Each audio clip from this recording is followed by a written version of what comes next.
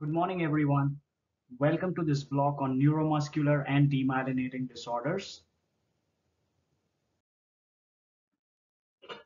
Thank you so much to Dr. Willis for her lecture on multiple sclerosis and Dr. Edward Kelly Marachek for his expertise on neuropathology.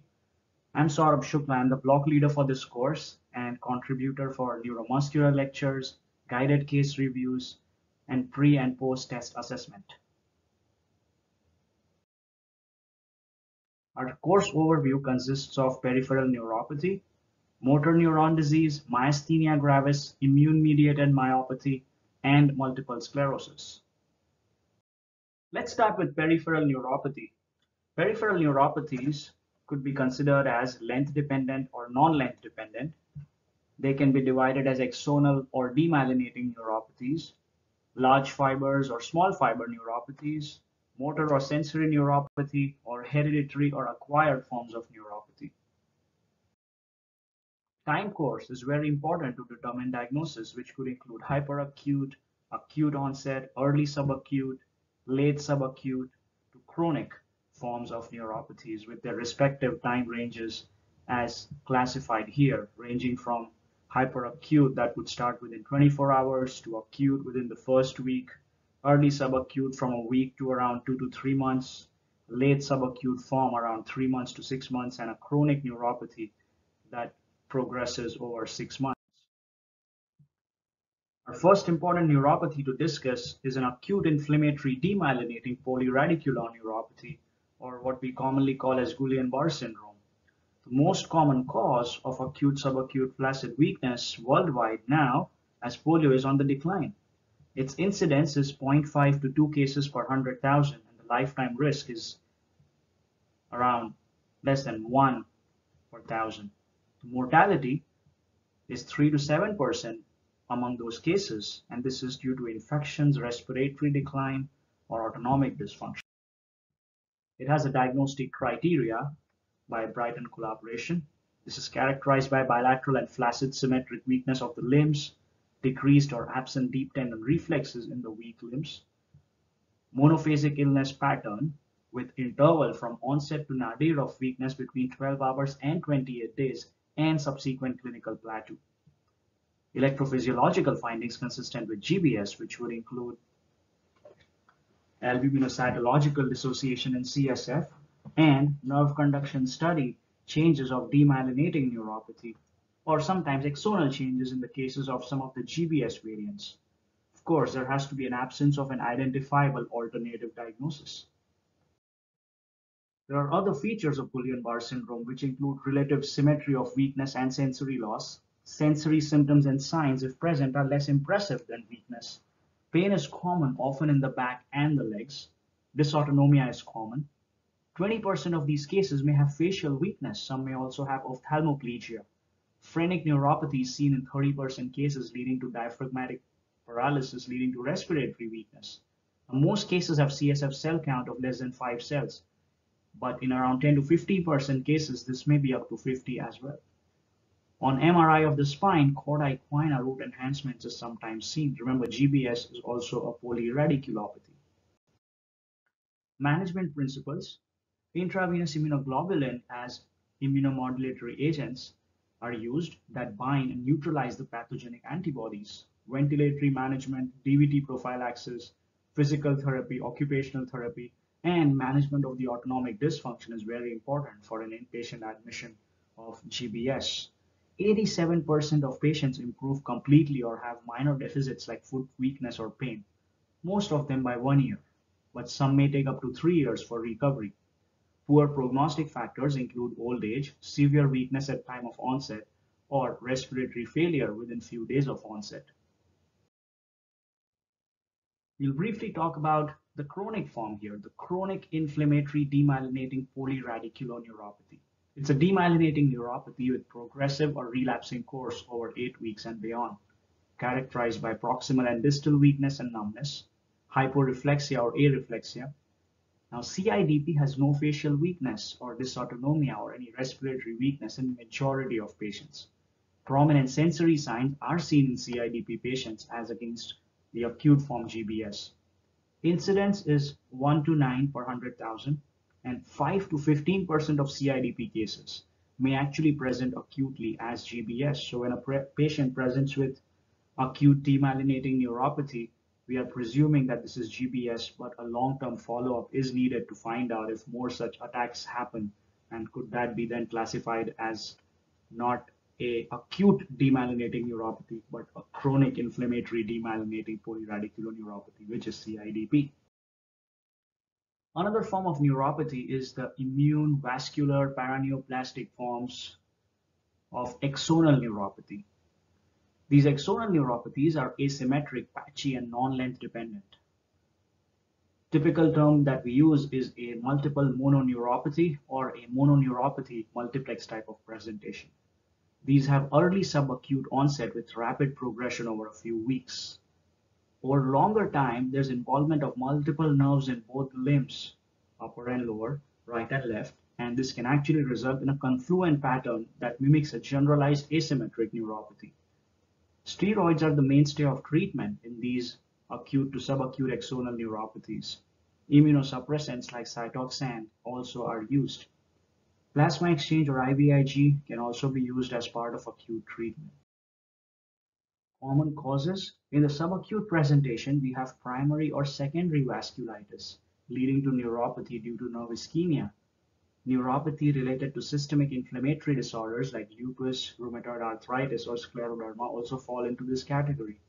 Paraproteinemic neuropathies, which are seen in lymphoid or hematological malignancies due to abnormal immunoglobulin, can also cause a subacute presentation of these axonal neuropathies. Acute presentations are seen in paraneoplastic neuropathy or sometimes neuropathy due to inflammatory bowel disease like celiac disease. There are chronic axonal forms of neuropathy which affect the sensory and the motor nerve fibers. These are the typical neuropathies that you see in clinical settings. They have the glove and stocking type of length-dependent pattern. Sensory symptoms typically predominate and these are commonly seen in diabetes, vitamin B12, folate, thiamine deficiencies, or paraproteinemias due to hematological or lymphoid cancers. Also seen in patients who are using chemotherapy medications, alcoholics, patients with uremia, rarely heavy metal toxicity. Sensory responses usually deteriorate significantly before motor reduction emerging on nerve conduction studies. These are your typical glove and stocking type of neuropathies that you would see in clinics. Hereditary neuropathies.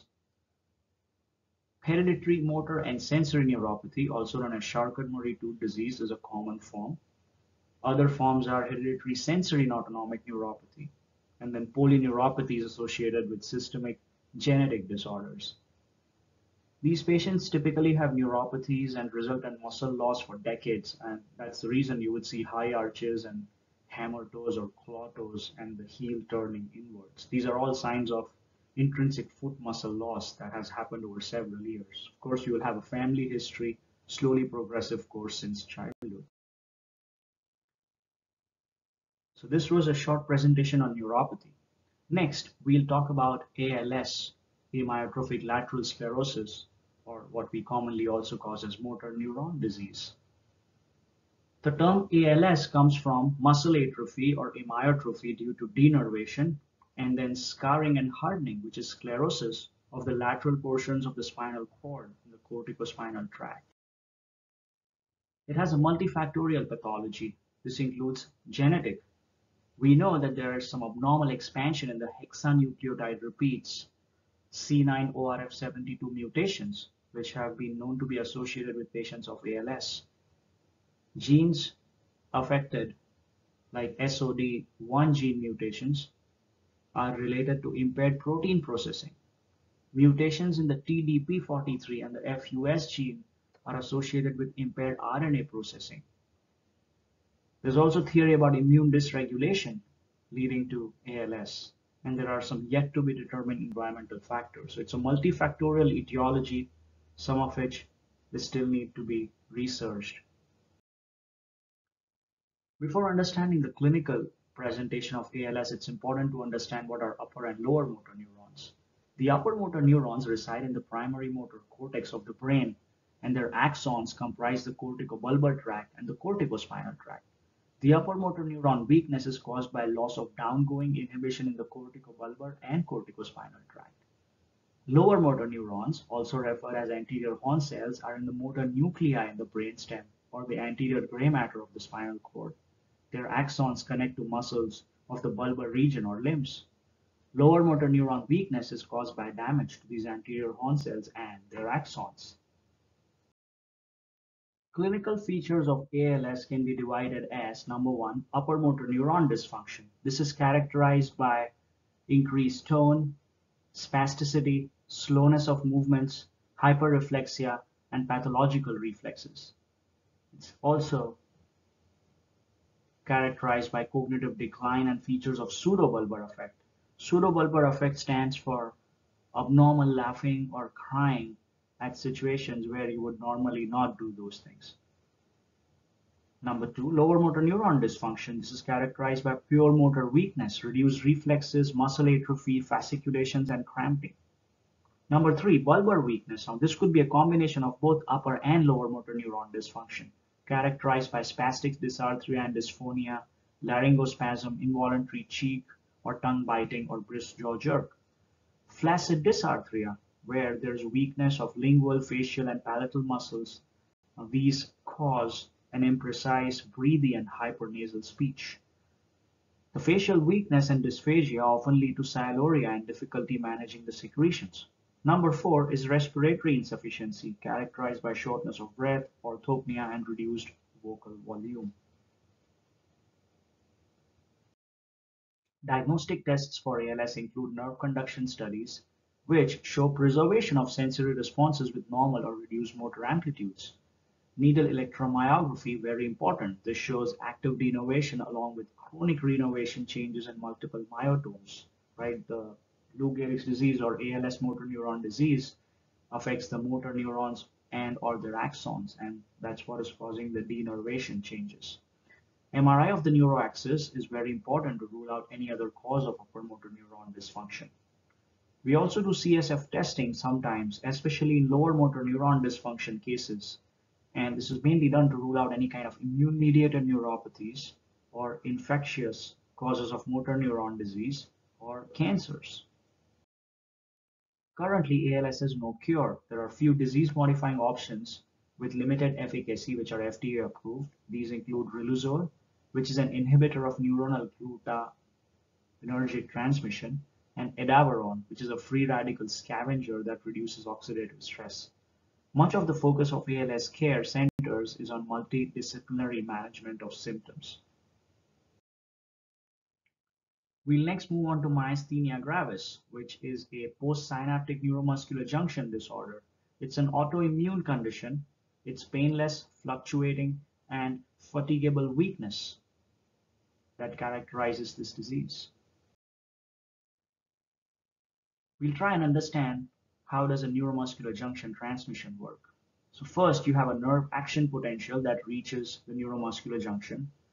The calcium channel gets activated and causes endocytosis of calcium in the presynaptic terminal. There's release of acetylcholine from vesicles. Then this acetylcholine binds to receptors at the postsynaptic junction. These are the acetylcholine receptors. Once this binding happens, the sodium channels get activated on the postsynaptic membrane and muscle end plate potential is generated. And this muscle end plate potential then propagates and eventually breaks a certain threshold to become what is called the muscle fiber action potential. And this leads to our muscle contraction. Eventually, the acetylcholine is degraded in the neuromuscular junction area by choline esterase enzyme. Clinical features of myasthenia gravis. Let's see how they happen. They happen because acetylcholine receptors or MuSK receptor antibodies prevent effective neuromuscular junction transmission. You may have enough acetylcholine in the neuromuscular junction, but if their postsynaptic junctions are blocked, the neuromuscular junction transmission is impaired and this leads to ptosis, you know, which is frequently asymmetric and this also causes binocular diplopia. It can cause face and bulbar weakness characterized by flaccid dysarthria, dysphagia, jaw closure weakness, weak smile, nasal speech, jaw fatigue, especially when chewing harder foods for longer time. It can cause neck weakness characterized by neck flexion weakness. This can cause proximal and symmetric weakness in the limbs, often fatigable. Myasthenic crisis is a neuromuscular emergency and this could occur in about 15% of patients. This is characterized by severe progressive weakness that has now started to affect the diaphragm and accessory breathing muscles causing respiratory failure. This is an emergency that needs to be recognized promptly and offer elective ventilation on a clinical diagnosis without actually waiting for blood gas changes to show hypoxemia. This is managed in an ICU setting with ventilatory support and treatment with plasma exchange. IVIG is also okay if plasma exchange is not available, but plasma exchange is always preferred. What are the factors that exacerbate myasthenia? These include surgery, pregnancy and postpartum period, heat, stress, viral infections, bone marrow transplantation, and certain medications. MGFA or Myasthenia Gravis Foundation of America runs a great website that keeps itself updated with a list of medications that could potentially worsen myasthenia. We have a list of some medications here. Now, except for telithromycin, which has a black box warning, a lot of these medications are relative contraindications. So when you see some of these patients on, on the medicines, you don't have to stop unless initiation of these medicines significantly worsen their myasthenia. What we do is we suggest patients that if reasonable alternatives exist, they can talk to their primary doctors or other doctors who have started these medicines to consider those alternatives. But if a patient absolutely needs these medicines, yes, we are okay then starting it and we closely monitor. If they decline, then we can pull the plug and move to something else. So these are to a large extent relative contraindications. ICE-PACK bedside test is a cool bedside test. Now, all of us know that cold impairs function of enzyme, all enzymes, and similarly, the cholinesterase enzyme function is also impaired with cold. This is the enzyme, remember, that breaks down acetylcholine into acetate and choline. So if the function of this enzyme is compromised, acetylcholine wouldn't be broken down and you'll have lots of acetylcholine in the neuromuscular junction which can then act on the available receptors for a longer time and that's the reason an ICE-PACK test helps improve ptosis in patients with myasthenia gravis. We use nerve conduction studies to diagnose myasthenia. One test that we use is a repetitive nerve stimulation testing. Now this demonstrates decremental signal response with repeating nerve stimulations. Now as you give more stimuli, the amplitude of the response keeps going down. And this is an electrophysiological correlate of fatigable weakness. We of course do lab work to check for myasthenia antibodies, the acetylcholine and the musk receptor antibodies. There are some others as well. We do a CT scan of the chest to make sure there's no thymoma. Thymoma is found in about 15% of patients with myasthenia gravis and should always be surgically removed. It is thought that some of these myasthenia antibodies are created there. Sometimes we have to do a single fiber EMG to diagnose myasthenia gravis. And this looks for abnormal excess variability of the interpotential intervals between two muscle fiber pairs in a motor unit. Now this difference or variability happens because there is a non-uniform neuromuscular junction signal transmission between two muscle fibers in a single motor unit because the neuromuscular junction is blocked. So it may be blocked more in one muscle fiber, a little less in the other one. So that's why there is a variability in neuromuscular junction transmission. And this test uses this principle to diagnose myasthenia. What are our treatment goals? Treatment goals are that should be achieved with minimal possible side effects from medications. One is remission. You know, you want absolutely no signs or symptoms of myasthenic weakness or sometimes we settle with minimal manifestations, like having no subjective symptoms but only mild or to minimal objective weakness. What is the treatment during crises? Plasma exchange and IVIG are rapid onset short-term immunotherapy for severe acute exacerbations, and sometimes they are also given pre-operatively to optimize the patient's strength prior to a surgery. Rarely in refractory patients and in patients who do not respond to or cannot tolerate oral immunosuppressants, then IVIG can be used chronically as well. Plasma exchange remains the treatment of choice in true myasthenic crises because of its fast onset. Usually after second or third plasma exchange, it starts showing its benefit. Plasma exchange, however, is contraindicated in sepsis and patients with severe hypotension. Complications in plasma exchange are mostly related to the use of central venous catheters or fluid Pyridostigmine or mestinon is an acetylcholine esterase inhibitor. Now this is used for symptom management alone in purely ocular as well as mild generalized cases, or this is used in combination with immunosuppressants in more severe cases. The symptomatic benefit starts in 30 to 60 minutes and lasts around 3 to 4 hours. That's why mestinon or pyridostigmine, a 60 milligram tablet, is taken every 4 hours in myasthenia patients. Common side effects include abdominal cramps, diarrhea, and excessive lacrimation. Prednisone, because of its universal and rapid onset of effects in two to three weeks, steroids are usually the first choice for patients with ocular and generalized myasthenia who require something more than pyridostigmine alone. Now, prednisone in clinics is started as a slow taper, and then we gradually go up on the dose. Whereas if patient is admitted especially in an ICU setting, you can go up to the target dose much quickly. We do slow taper in clinics because there's a possible risk of short-term exacerbation, especially in bulbar and respiratory weakness. That's why in a clinical setting, we usually start at around 10, 10 to 15 milligram a day and then gradually build up the dose to a gram per kilogram as needed. And then again scale back down based on symptoms. Whereas if a patient is intubated and getting plasma exchange or IVIG in an ICU setting, we can go up to 50 or 60 milligram a day dose very quickly. Long-term immunomodulators are important in management of generalized myasthenia because they spare the body of steroids. Commonly used are mycophenolate mofetil, which inhibits cell-mediated immunity, azathioprine, which is 6-mercaptopurine that inhibits lymphocyte proliferation.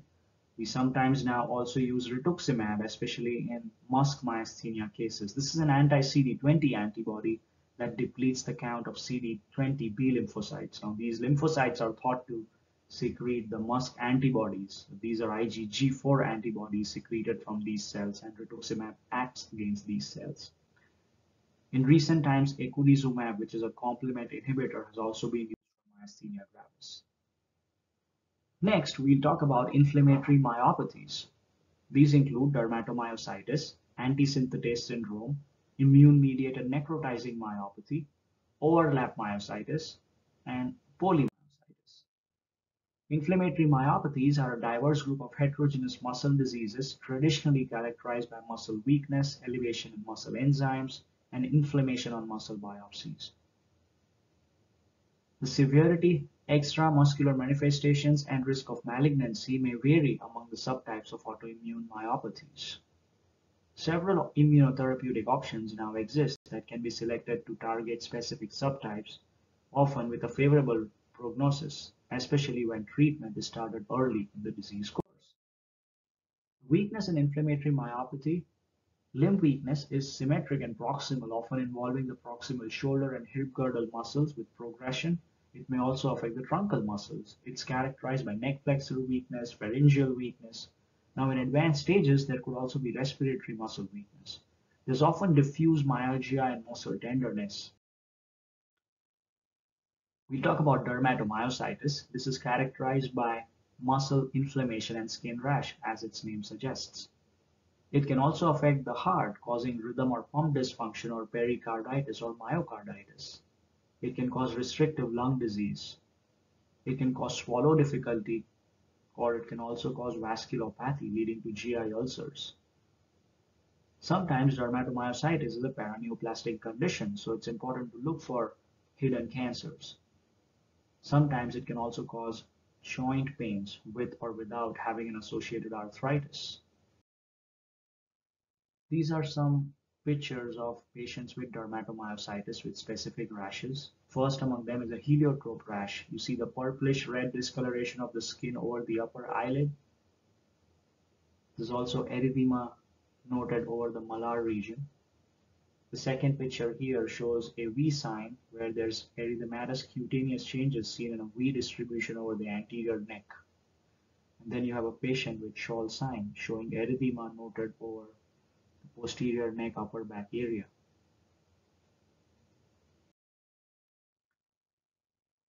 These are pictures showing number one, the Gottron sign, which is scaling erythematous changes noted over the metacarpophalangeal joints, proximal and distal interphalangeal joints as well. And you could see some hemorrhages at the nail beds with irregular thickened cuticles. Diagnostic workup, usually you would see elevated creatinine kinase, but sometimes can also be normal, so not used to track disease progression and severity. Other serum biomarkers of muscle injury that we check include aldolase, LDH, and also AST and ALT. Remember, these AST and ALT are also muscle enzymes, not just liver enzymes. When you do needle electromyography, that will show myopathic changes on EMG. Muscle biopsy in these patients show perifascicular inflammation, and muscle MRI, or typically MRI of the femur or MRI of the shoulder area, would show edema, atrophy, and calcification. On blood work, we order myositis-specific antibodies in the biomarker panel that you would see us ordering in the clinics. Now, these have some specific antibodies which have some specific clinical features and whether favorable or unfavorable response to immunotherapy. Some of them, as you see, the anti-TIF is also strongly associated with cancer. So you really need to look at cancer with CT chest abdomen pelvis or PET scan. Anti-NXP2 is also increased risk of malignancy. There are some that have more common skin rashes with mild muscle involvement like the anti-SAE.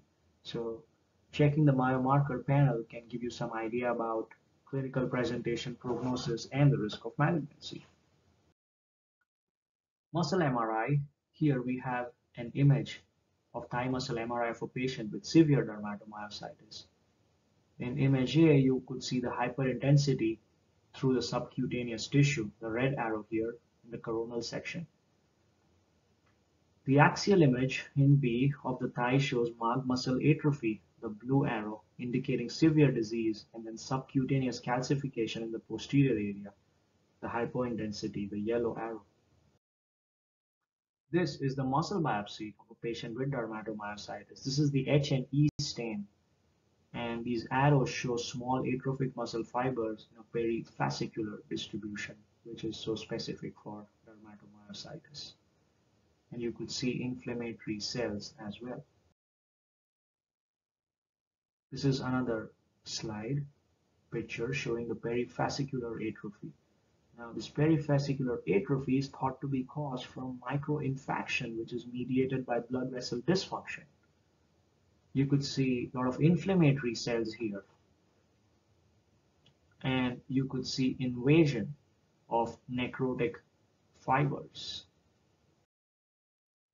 The pathophysiology is thought as occurring because of two possible scenarios. One is a vasculopathy, which is complement mediated.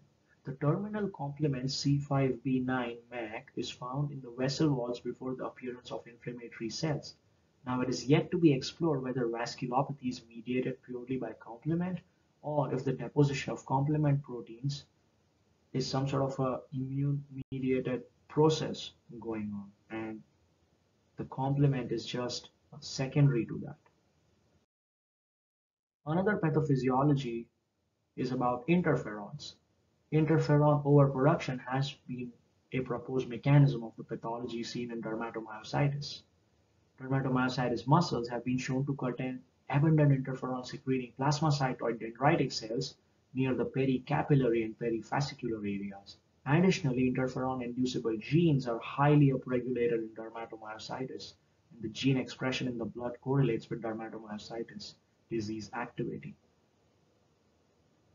The mechanism of interferon overproduction that is leading to the loss of capillaries and this perifascicular atrophy still remains unclear, but we have two possible pathophysiologies. One, as I said, is a complement mediated process, and the other one is an interferon mediated process.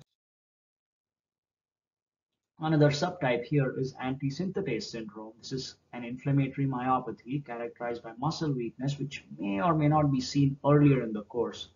What is important is these patients have interstitial lung disease.